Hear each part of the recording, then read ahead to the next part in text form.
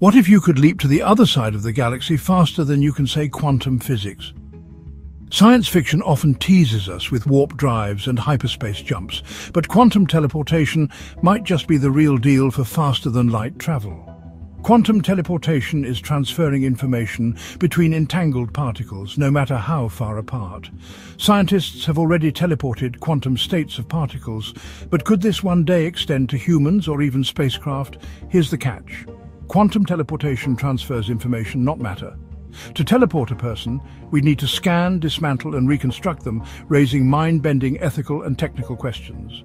While faster-than-light travel is still a dream, quantum teleportation could revolutionize communication, making interstellar messaging instantaneous.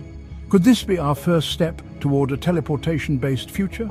Until next time, stay curious, keep exploring, and remember, the truth is out there. Like, share and subscribe for more mysteries beyond time and space.